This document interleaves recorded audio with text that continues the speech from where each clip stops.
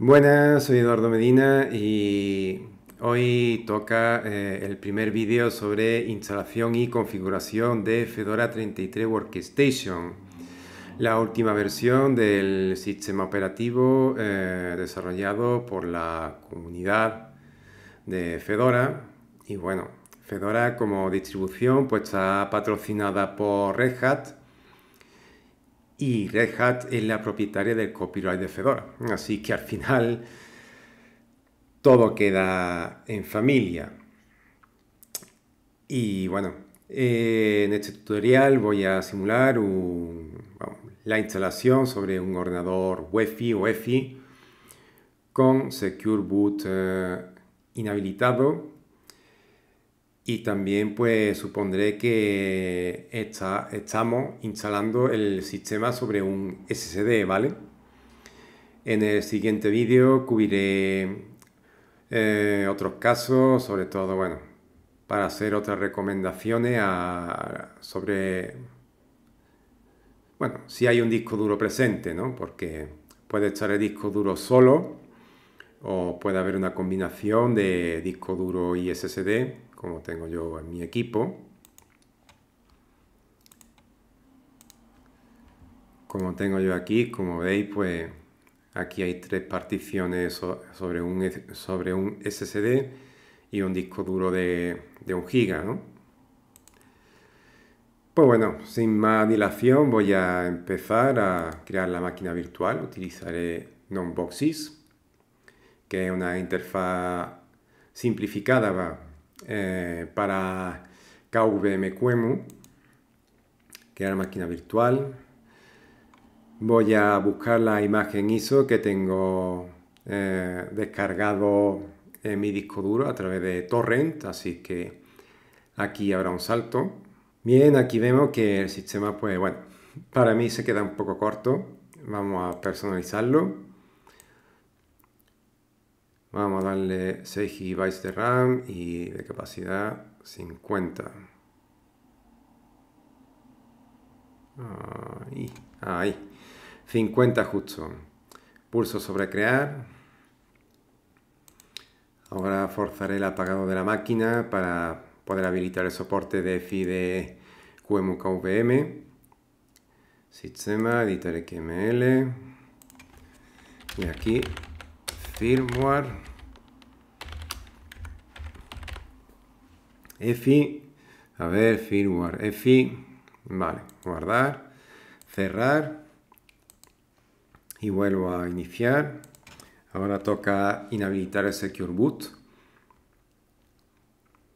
porque la verdad es que Secure Boot eh, la, la considero una característica secuestrada por Microsoft no estoy en contra de Secure Boot, lo que, lo que es la característica sobre el papel, pero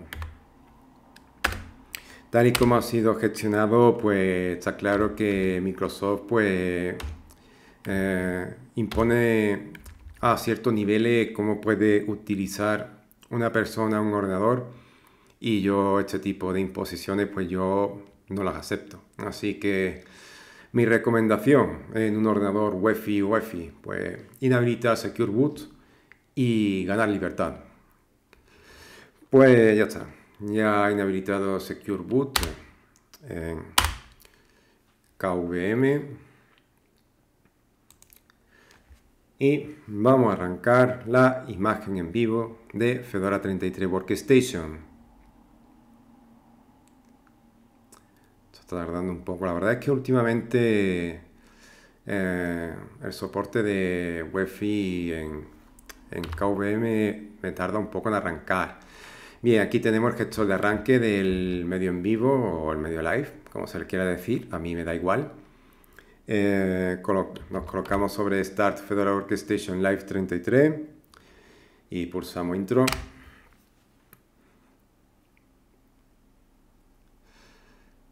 Ya está arrancando el sistema, un poco de paciencia. La verdad es que Fedora es uno de los sistemas New Linux más hinchados que existen.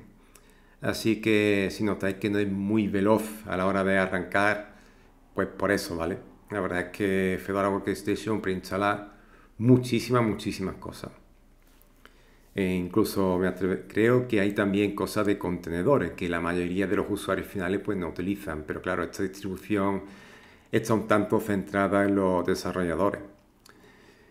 Pues bien, aquí tenemos en la sesión en vivo, ha iniciado, como veis la resolución está, se ha ajustado correctamente y eso es debido a que Fedora Workstation preinstala los drivers para los gráficos Spice que se pueden utilizar en KVM QEMU, ¿no? Pues bien, vamos a empezar la instalación. Install to hard drive.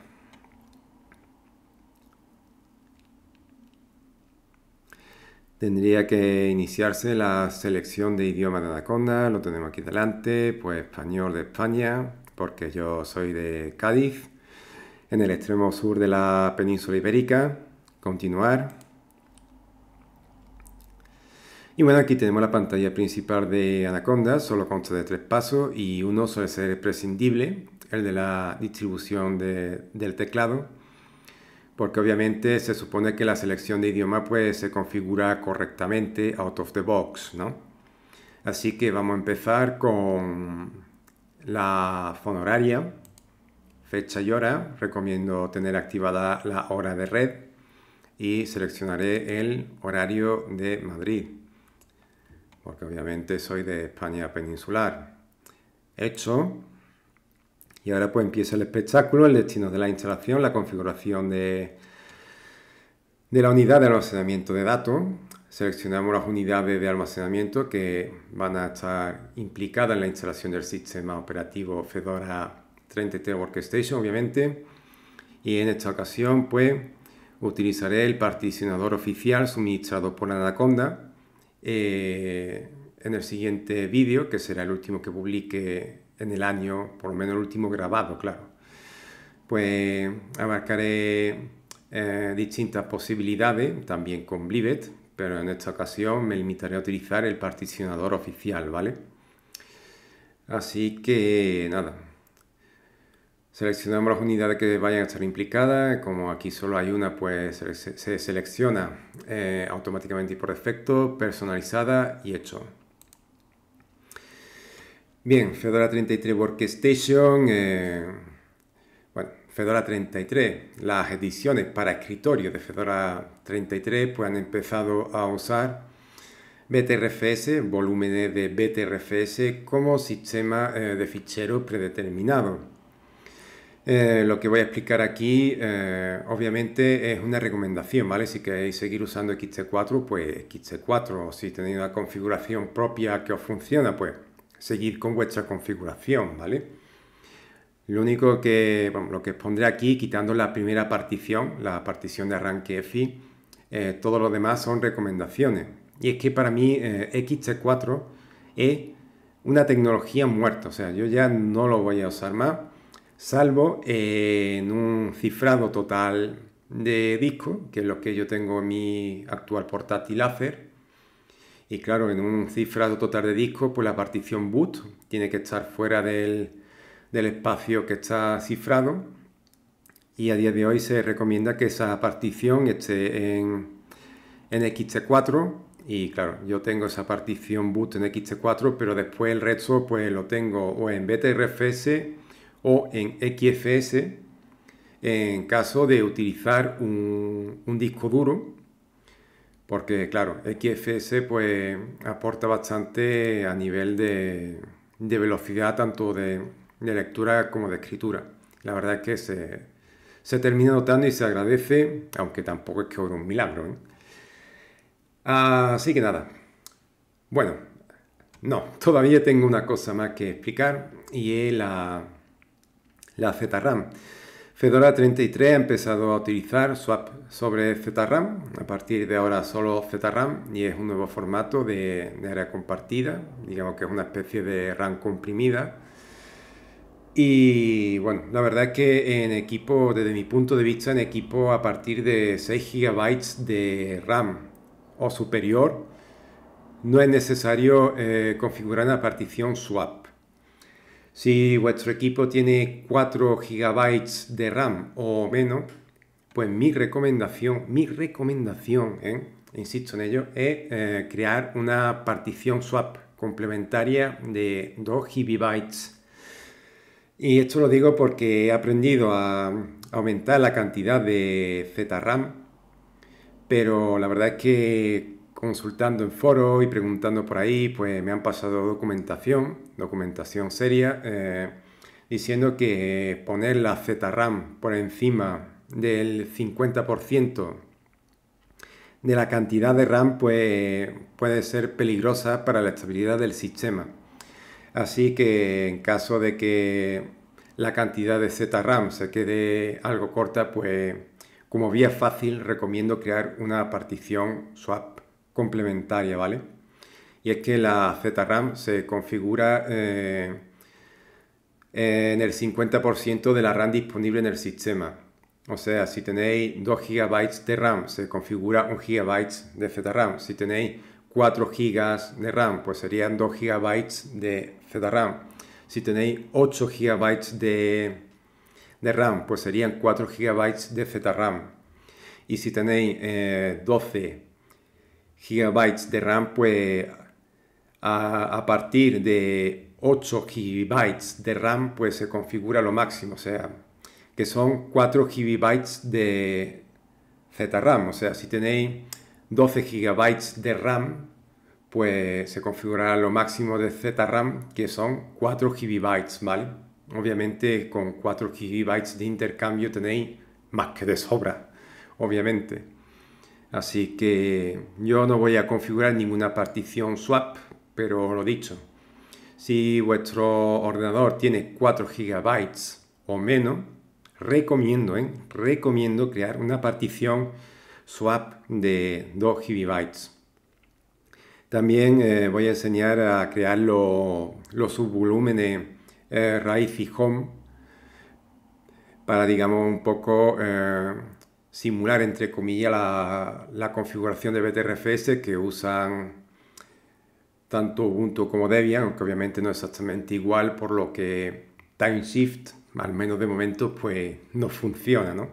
Y vamos a ver si, es verdad eso que me han comentado, que la comunidad de Fedora pues está trabajando en herramientas gráficas para poder hacer instantáneas, porque claro, si han apostado por BTRFS para las ediciones de escritorio de Fedora, pues se supone que para aprovechar la característica de BTRFS.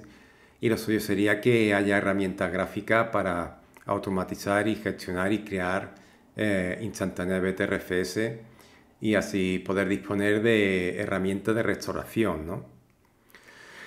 Pues bueno, después de aburriros bastante con esta aplicación, eh, voy a empezar a crear ahora sí las particiones.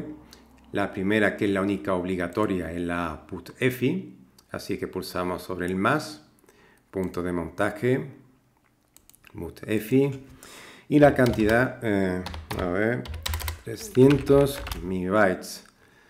Vale. Añadir.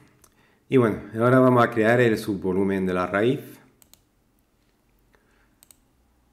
Seleccionamos la raíz y 20 GB mismo, es lo mismo. Pulsamos sobre añadir punto de montaje y ahora pues vamos a crear el subvolumen de la home.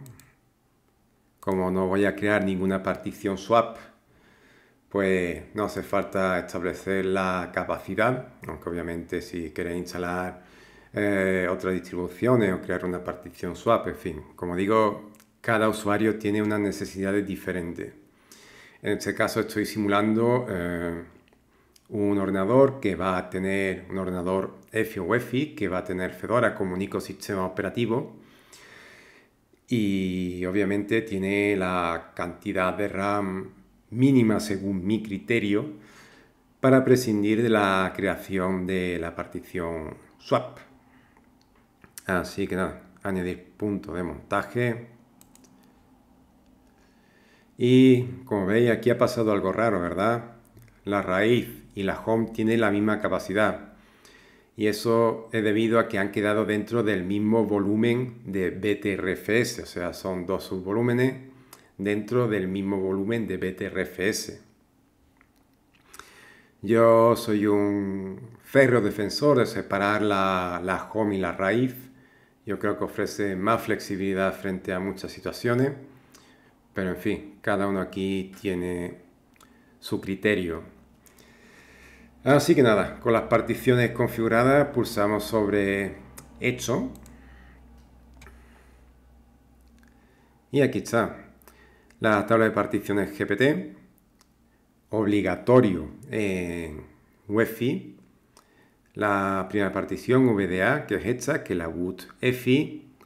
Eh, aquí tenemos la creación de la partición BTRFS, la creación del volumen BTRFS, el establecimiento del subvolumen raíz y el establecimiento del subvolumen de la home. Así que nada, todo está en orden, aceptamos los cambios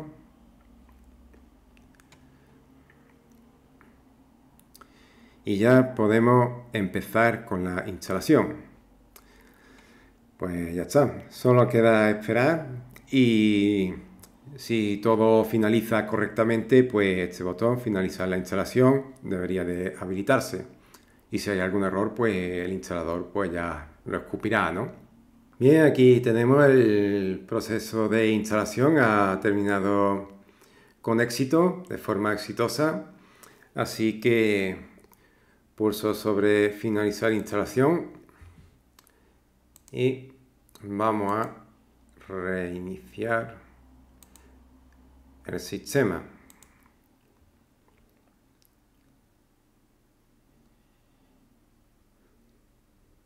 Vamos a ver si esto arranca o no arranca.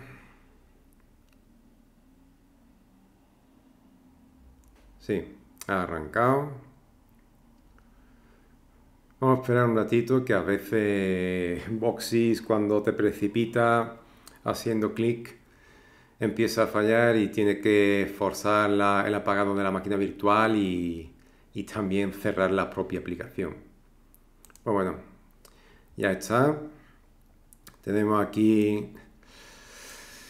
el inicio de la configuración de Fedora 33 Workstation, iniciar configuración, Aquí, bueno, esto lo dejo a la acción del usuario, yo lo dejaré todo por defecto. Siguiente, omitir la creación del primer usuario, que es el administrador del sistema. Siguiente, contraseña, una facilita. Y empezar a usar Fedora.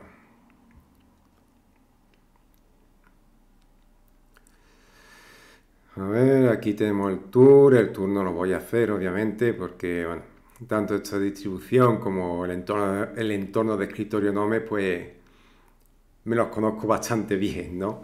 Y además, pues utilizo Nome por defecto, como estáis viendo. Siempre lo uso así. Ya sé que cuesta un poco creerlo, pero es la verdad. Así que le daré a no gracias. Y el primer paso después de instalar Fedora Workstation es actualizarlo. Sí, sí, actualizarlo. Así que nada, ir de compra, por cierto, eh, por defecto estoy utilizando, aquí puedo escribir sin problema, estoy utilizando la sesión de Wayland.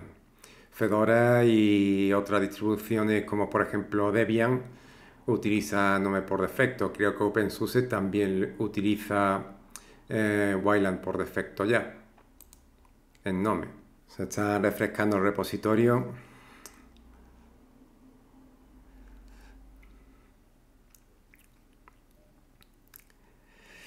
Y bien, eh, antes de empezar el propio proceso de actualización, tenemos aquí eh, los repositorios de tercero que ofrece Fedora por defecto, que bueno, son el repositorio de, Google Chrome para obviamente instalar fácilmente Google Chrome, eh, una habilitación parcial de los repositorios de RPM Fusion que permiten instalar Steam y el driver privativo de NVIDIA, aunque eso sí, antes de seguir, eh, recomiendo evitar el uso de una gráfica de NVIDIA con Fedora, ¿vale? Porque Fedora nunca ha sido muy amigable, muy amigable con el driver de NVIDIA, ¿vale? Así que si tenéis la intención de usar Fedora y usarlo como sistema para jugar, os recomiendo en este momento eh, tirar por una gráfica Radeon que lleve un tiempo en el mercado. En este caso, pues la más reciente que recomiendo comprar sería la RX 5000. La RX 6000 que están apareciendo, pues bueno, aparte del tema del stock, en fin, ese tema a mí no me interesa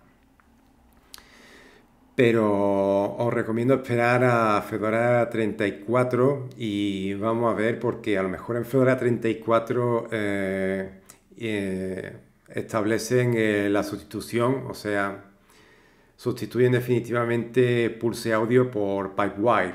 Y la verdad es que si se consume ese cambio yo no usaré Fedora 34 Station porque no quiero ser una cobaya de un software que seguro que todavía estará un tanto verde.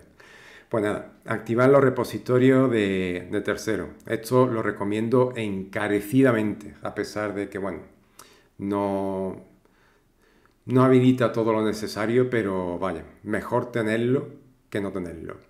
Le dais a activar e introducís la contraseña de superusuario. Pero ¿qué pasa? Que esto no salta siempre, a veces falla. Bien, si falla aquí, pues podéis ir a repositorio de software y le dais aquí repositorio de terceras partes y es exactamente lo mismo, ¿vale? Como aquí ha salido correctamente, pues le daré a activar, se instalará, ya se, ya se ha instalado y aquí tenemos el proceso de actualización. A ver si si deja de comprobar. Vale, recomiendo refrescar para así asegurarnos de que va... A lo mejor ya ha empezado a descargar y todo, porque muchas veces esto trabaja de, oficio. De hecho, muchas veces cuando apagáis el, sistema operativo se le dais aquí apagar y, y apagar pues el mismo proceso de apagado de Nome pues sugiere eh, instalar las actualizaciones. Eso es una función que, suministra Nome Software, si no estoy equivocado. Y la verdad es que para mí muy cómodo. Es muy cómodo porque es que eh, hace que el mantenimiento de Fedora Workstation y de otras distribuciones que tienen implementado Nome de una manera similar Ubuntu no es una de ellas, pues hace que, el mantenimiento del sistema operativo se quede en casi nada, vamos, o sea, la verdad que para mí es una maravilla porque lo que más valoro de Linux frente a Windows es el poco mantenimiento que tiene. Mientras vaya reaccionando, pues, pues ya pues ya lo damos por bueno, se le da a descargar y cuando haya concluido el proceso de descarga, porque claro, este tutorial lo estoy haciendo el 19, pues mira, esta vaya descargando, pues le da ya... A ver... Esto se está quedando un poco tonto. Bien, le da ya reiniciar y actualizar.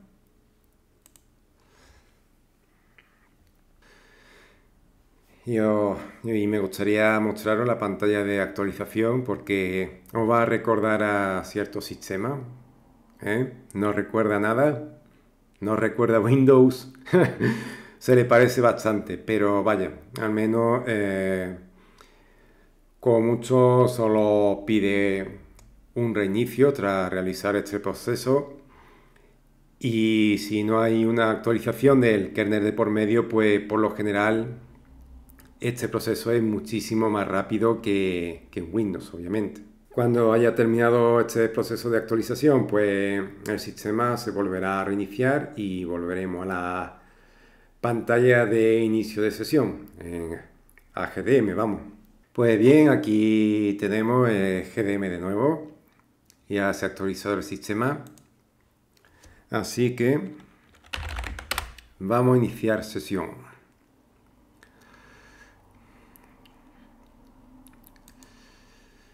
Pues nada, aquí vamos a empezar la configuración del sistema operativo para escritorio y gaming, obviamente.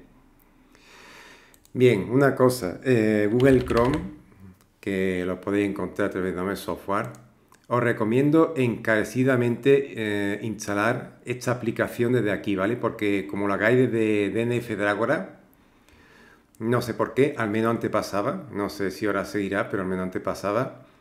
Eh, la configuración de la clave GPG fallaba y mandaba al diablo toda la instalación, o sea, la de Google Chrome y del resto de paquete que hubieseis marcado. Así que si queréis instalar Google Chrome, recomiendo hacerlo desde aquí. Pero eh, Chromium eh, desde hace bastantes meses, un puñado de meses, de la primavera más o menos, pues tiene soporte de Whitevine. Así que personalmente os recomiendo esquivar a toda costa Google Chrome y utilizar otro navegador que os voy a mostrar, que es Chromium Free World, que es una variante, una versión de Chromium eh, procedente del repositorio RPM Fusion que ofrece soporte para los códecs de FreeWord, o sea, soporte para los códecs privativos, ofrece soporte de aceleración por hardware y además ofrece una mejor integración con el sistema. Y no me refiero al tema de los diálogos, sino que vamos, te permite forzarlo todo y que, bueno, en algunos modelos de gráfica, por lo menos una Radeon Polaris es así, pues eh, tiene una experiencia perfecta, se puede forzar Vulkan, rasterización, eh, aceleración por hardware, mm, puede forzarlo todo.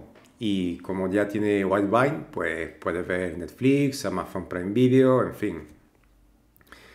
Que, que no es necesario eh, que la comunidad de Fedora, al menos desde mi punto de vista, siga facilitando la instalación de Google Chrome. Pero en fin, ya esto ya queda eh, eh, bajo la elección de cada uno, ¿no?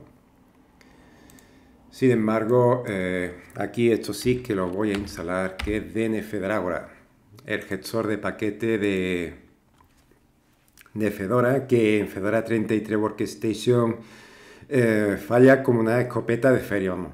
Falla muchísimo, la verdad es que en Fedora 32 me iba bien, pero en Fedora 33 me da muchos problemas. A pesar de ello, voy a enseñar eh, cómo arreglar el problema que da de Nefedrágora, pero eso lo explicaré cuando llegue su momento, que será dentro de poco. Antes, pues voy a eh, descargar los paquetes para configurar los repositorios de RPM Fusion. Muy bien, voy a abrir el Firefox. Firefox por defecto en Fedora funciona correctamente sobre la sesión de Wayland, lo cual es una ventaja. Recomiendo encarecidamente eh, cambiar a Wayland, si se puede, porque bueno, aparte de, del tema del screencasting que yo he mencionado muchísimas veces, pues también está muchas aplicaciones que parece que todavía fallan en X Wayland, aunque bueno, por mi experiencia todo va bastante bien excepto el tema del screencasting, vamos. De hecho, este vídeo obviamente lo estoy grabando desde la sesión de Zork. A ver cuando ese estudio empieza a soportar Wayland y a hacerlo bien, ¿no? Pues nada, vamos a buscar RPM Fusion. Acepto. Vamos a la web de RPM Fusion para así configuración y descargamos los paquetes, vamos, repositorio free y non-free de RPM Fusion. El repositorio free pues se encarga de suministrar eh, aplicaciones o, o bibliotecas que son software libre pero que no están presentes en los repositorios de Fedora. Mientras que el repositorio non-free pues se encarga de suministrar eh, un bastante software, obviamente que es software libre, del que se puede destacar el driver de NVIDIA, se puede destacar el, eh, Steam, los codes privativos y también el descompresor UNRAR. Hay que descargar la versión del paquete, bueno, la versión del paquete correspondiente a la versión de Fedora que se está utilizando, en este caso la 33. Voy a guardarlo en disco.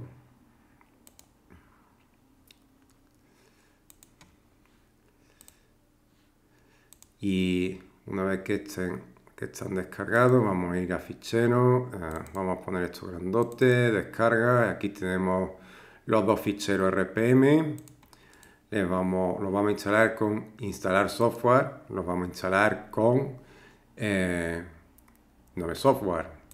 Pulsamos sobre instalar, introducimos la contraseña del usuario, ya tenemos el repositorio free ahí, vamos a hacer lo mismo con el non-free. También, vamos, le he dado doble clic en esta ocasión. Eso es debido a que está asignado a instalar software, ¿vale?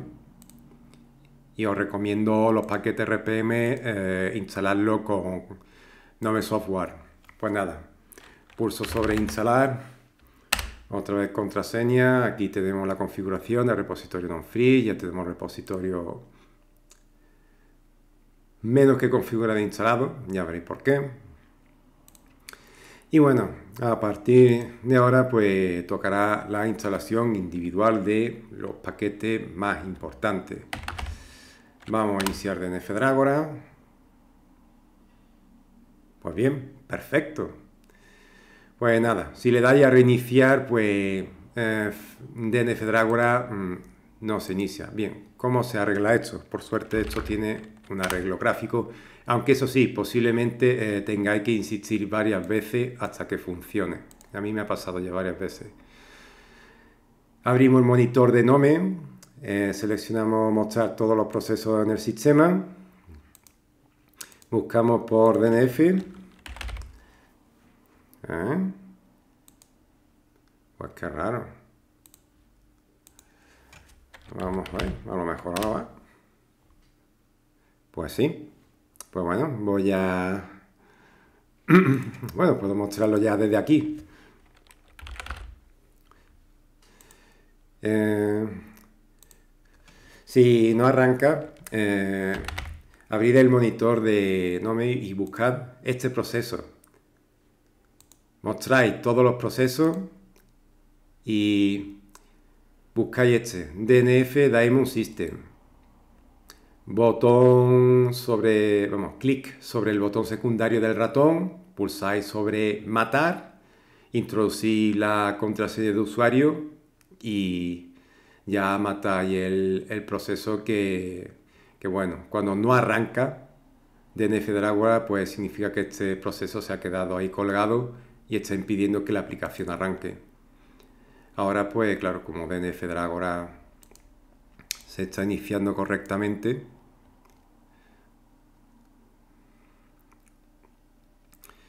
Vamos a ver si después de, refrescar todo el repositorio, pues me permite maximizar, porque muchas veces al maximizar hace y se va a tomar viento. La verdad es que DNF recibe mucha crítica eh, de que es muy lento, es muy lento, pero bueno, si veis mi vídeo sobre la automatización del software libre que está haciendo Fedora Workstation, pues podéis ver que a pesar de que es lento, eh, mantiene el sistema muy limpio. La verdad es que con el meneo que le doy a Fedora Workstation, si hiciera lo mismo con un Ubuntu, eh, haría el sudo apt autoremove, pues eh, con el movimiento que le, le doy a, a mi sistema, vamos, el autoremove en Ubuntu me quitaría, vamos, cientos de mega de paquete, vamos, muchísimos paquetes. Sin embargo, en Fedora Workstation eh, utilizo el sudo dnf autoremove, también está, pero la verdad es que después de dos meses con el sistema me quita tres, cuatro paquetes, o sea, muy poquito. La verdad es que es muy bueno dejando el sistema limpio de paquetes huérfanos. Pues nada, operación de riesgo, maximización de la ventana de DNF Dragora. Sobrevivió. Pues estupendo. Pues nada, vamos a empezar a instalar los componentes básicos del sistema. Todos los paquetes eh, pueden ser localizados en la sección eh, Mostrar X8664 y no solamente menos Steam, que tiene que ser encontrado desde todos. Pues nada, voy a seleccionar mostrar X8664 y no Arch solamente. Y vamos a empezar a instalar componente básico de este, para tener este sistema operativo listo para escritorio y gaming. Obviamente mm, la parte del gaming, que solo, solo está compuesta por dos paquetes, la podéis obviar, ¿vale? Porque si no vais a jugar, pues para que lo vais a instalar. Pero el resto de componentes, pues sí que sería muy recomendable que los instalaseis, ¿vale? Muy bien, ¿con qué vamos a empezar? Pues vamos a empezar con el soporte de WebP para las aplicaciones GTK y Nome, que este paquete de aquí, WebP Pixboof Loader. Otro paquete, el descompresor UNRAR. Aquí hay que tener cuidado, fijáis la versión, seleccionáis siempre la más reciente, ¿vale? 7 zip. Eh, aquí tenemos el soporte para 7 zip, el soporte básico y los plugins para poder eh, cifrar y trocear los ficheros. Todo eso se puede, se puede hacer de file roller. 264 Bien, aquí pues esto está, pues mira, pues esto viene ya ahora preinstalado, pues estupendo. Eso sí, si queréis dedicaros a la edición de vídeo, os recomiendo encarecidamente eh, seleccionar este paquete y este, ¿vale? Y continuando con la edición de vídeo, o recomiendo también marcar el X265. Ahora pues vamos a instalar los códecs multimedia, tanto libre como privativo. Pues hay que seleccionar la versión más reciente, se selecciona el IBAV, BAD Free Extras, este también se puede seleccionar. Estos dos pues no son, no son imprescindibles, la verdad, pero bueno, mejor que sobre a que falte. El Bad Free World. Vamos a ver, vamos a ver. El Good Extras.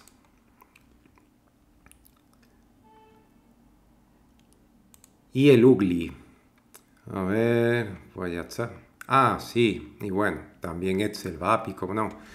Eso sí, el VAPI, que ofrece el soporte de aceleración por hardware mediante VAPI, eh, dependiendo de la tarjeta gráfica, pues puede generar o no problemas de estabilidad. en mi caso, con la RX 580, pues no tengo ningún problema, pero si detectáis que Firefox o los navegadores web o las aplicaciones multimedia están, digamos, saltando por los aires, pues posiblemente sea por culpa de este paquete, ¿vale? Lo desinstaláis, obviamente cerráis todas las aplicaciones, las volvéis a abrir y ya tendría que arreglarse el problema. Pues bueno, esto ya son Vamos otra vez. Vale, sí, todo está aquí. Bien, app stream. Estos dos paquetes, que hay otra forma de instalarlo mediante un grupo, pues permite integrar eh, la lista de paquetes de RPP Fusion en Nome Software, ¿vale? Mm, ¿Qué hay de más? Pues Policy Core, Utils. Aquí tenemos Policy Core Ultirs-GUI, que es la configuración básica de ese Linux de manera gráfica, o sea, ofrece una interfaz gráfica para la configuración básica de ese Linux para configurar sobre todo el modo impositivo.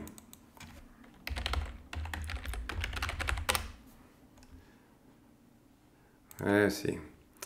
Firewall Config, que es una aplicación gráfica para el firewall. Y bueno, eh, como reproductor de vídeo, la verdad es que os recomiendo Celluloid, el de, el de Linux Mint, porque es un frontend de MPV. La verdad es que SM Player no funciona bien en, en Wayland, ya que lo que es la reproducción de MPV se sale de la interfaz de SM Player y la verdad es que da una sensación muy desagradable. Así que os recomiendo tirar de Celluloid y así también tenéis aceleración por hardware. La verdad es que creo que Totem todavía no ofrece aceleración por hardware. No sé a qué esperan desde Nome, la verdad. Pero a veces la obsesión por la retrocompatibilidad que hay en algunas comunidades de Linux eh, llega hasta el absurdo, porque, claro, estamos hablando de características que están consolidadas desde hace muchísimo tiempo y para carecer de ella pues tiene que estar usando un ordenador mm, muy antiguo. Bien, Audacious. Audacious la verdad es que la sesión de Wayland eh, la verdad es que funciona muy mal. Empecé a dar ha dado el salto a Qt en Fedora. Al principio me fue bien, pero después problemas de estabilidad, eh, en fin, ahora no puedo arrastrar la, la ventana en modo Winamp, ni acceder a la configuración, en fin. Pero vaya, si utilizáis la sesión de Zorg y preferéis seguir con Audacious, pues no solo tenéis que instalar la aplicación, ¿vale? Sino también instalar todos los códecs de FreeWord. Sin embargo, yo pues he dado el salto a esta otra aplicación como reproductor de sonido, Beef con todos sus plugins. Bien, ¿qué más hay por ahí? Pues el navegador del que os hablé hace un ratillo, Chromium Free World. Aquí lo tenéis. Esta es la versión de Chromium suministrada por RPB Fusion y obviamente, pues como bien dice su descripción, pues Ofrece acceso a los codes de FreeWord y soporte de API para aceleración por hardware. Y para terminar, pues nos queda, como no, Steam, la plataforma, el cliente de la plataforma de Valve. Pero antes de instalar el propio Steam, recomiendo eh, instalar este paquete, Red Hat Core. Eh, ¿Por qué? Pues es debido a que Fedora Workstation eh, no es correctamente identificado mm, por el cliente de Steam, o sea, lo he identificado como Linux desconocido. Y bueno, eh, se me ocurrió eh, escribir el comando lsb release-a y me recomendó la instalación, bueno, me recomendó, me recomendó, sí, bueno, me recomendó la instalación de este paquete para usar el comando. Y después de instalar este paquete, pues abrí el cliente de Steam y vi que Steam ya detectaba e identificaba correctamente Fedora Workstation. Así que antes de instalar, eh, bueno, con la instalación de Steam, mejor dicho, recomiendo encarecidamente instalar este paquete, Red Hat LSB Core. Y vamos a ir a por el propio Steam, que es una aplicación de 32 bits así que no está presente en la sección de 64 bits y sin arquitectura. Seleccionamos Steam y ya tenemos el cliente de la plataforma de Valve. La verdad es que Fedora Workstation eh, destaca por ofrecer una configuración muy buena eh, de, de, Steam a través de los repositorios de RPM Fusion porque instala todo el soporte de Vulkan para 32, 64 bits. Así que la verdad es que eh, proporciona un atajo muy bueno y desde mi experiencia mejor que el de Ubuntu incluso. Pues bueno, ya tenemos todos los componentes básicos para escritorio y gaming. Luego ya, pues bueno, eh, nos queda también la configuración del repositorio de Flatpak. Lo haré luego. Pero vaya, lo que son las aplicaciones, pues ya depende de los gustos de cada uno. Yo aquí he seleccionado lo que yo creo que son los, componentes más fundamentales. Pues nada, le damos a aplicar. Aquí tenemos todas las dependencias que se van a, todos los paquetes y sus dependencias, todo lo que se va a instalar. Muchísimo. Así que, para adelante. Introducimos la contraseña. Anda que falla. Se va a descargar bastante, bastantes paquetes, así que al final Mientras se descarga todo eso, puedo mostrar una cosa, un detalle. Como veis, el sistema de fichero de la raíz y la home, pues obviamente está dividido en los subvolúmenes que están dentro del mismo volumen de BTRFS.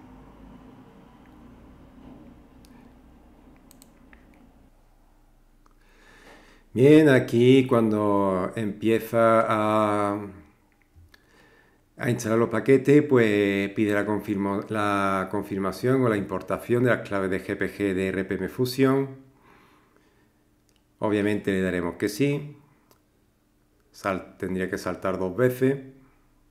Aquí está una para el repositorio free y otro para el repositorio non free. Aceptamos ambas claves obviamente para que así los repositorios de RPM Fusion empiecen a funcionar correctamente. Bien, ya tenemos eh, todos los paquetes instalados, pero sin embargo me acabo de acordar de, de un par más. Si utilizáis una gráfica de Intel, eh, sería recomendable instalar estos dos paquetes. Yo utilizo aquí una gráfica de AMD, así que no es necesario. Pero si utilizáis una gráfica de Intel, pues sería recomendable eh, instalar el Intel Media Driver y el Libba Intel Driver, ¿vale? Estos dos paquetes, si utilizáis una gráfica de Intel, os recomiendo encarecidamente instalarlo. Así que nada, aplicamos los cambios e instalamos los paquetes seleccionados y ahora sí que sí, ya tendría que estar todo instalado. Si no usáis una gráfica de Intel, pues bueno, no, no tendría que haber ningún problema. Simple y llanamente, pues que esos drivers no entren en funcionamiento y ya está. Bien, aquí pues ya tenemos todos los, componentes básicos de Fedora 33 Workstation instalados. Pero falta una cosita. Una cosita pequeña pero importante, la configuración del repositorio de FlatHub para disponer de los paquetes Flatpak alojados en dicho repositorio. Fedora eh, por defecto ya tiene un repositorio de paquete Flatpak propio eh, mediante el cual pues suministra aplicaciones en versión Flatpak pero honestamente yo creo que es mejor eh, configurar FlatHub porque ofrece mm, versiones más recientes de algunas aplicaciones que Fedora y también pues obviamente su catálogo superior ya que ofrece eh, o pone a disposición aplicaciones privativas que por principio Fedora pues no ofrece. ¿no? Y también hay un último punto en lo que respecta a Firefox, al soporte multimedia, que voy a exponer ahora mismo. Así que nada, abrimos Firefox. Vamos a, los complementos. Plugins y como veis el soporte de OpenH264 no está habilitado por defecto. Así que se le da a activar siempre. Y ya con esto pues tenemos el soporte de, de codex privativo de H264, por lo que ya eh, se tiene a disposición un soporte multimedia completo eh, para Firefox. Para probarlo, pues vamos, vamos a buscar esto. Eh, a ver, ahí, aquí está. A ver si sale. A ver si se reproduce.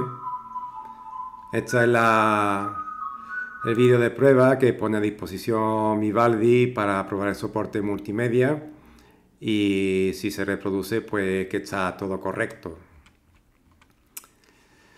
Pues ya está. Ahora pues toca eh,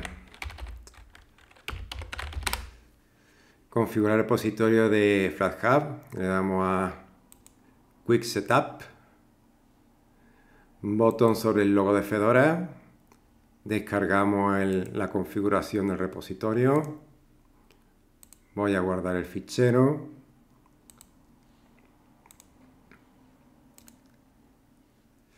Vamos a descarga. Abrimos el fichero de la configuración del repositorio FlatHub. Le damos a abrir con instalar software.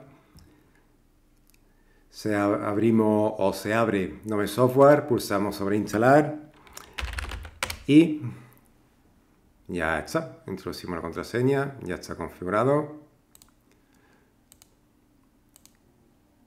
Cerramos sesión. Volvemos a iniciarla, lo que os he dicho. No me acerca la sesión de sobre Wayland, mientras que no me sobre pues aquí lo tenéis. Ubuntu lo tiene al revés.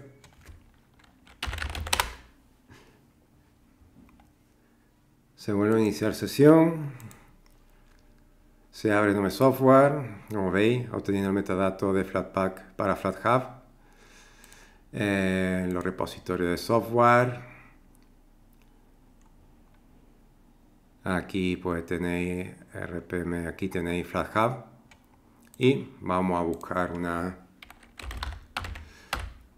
A ver, Postman. Postman no sale.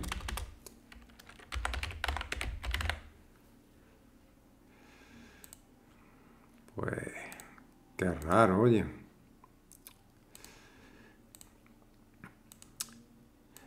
Pues nada, vamos a reiniciar. A ver, debería de funcionar el repositorio de, de pero bueno. En caso extremo siempre podemos utilizar un cañón más grande. Ahora.